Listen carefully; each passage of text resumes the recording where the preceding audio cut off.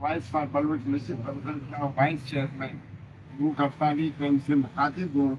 इस वक्त मेरे साथ वाहिद कंबर मगवी जिनको जबरी लापता किया गया है, उनकी फैमिली भी मेरे साथ बैठी हुई है। साथ में लापता राशिद हुसैन की वालिदा भी है और मेरे दाएँ तरफ़ वाइट कंबर की छोटी बच्ची भी बैठी हुई है।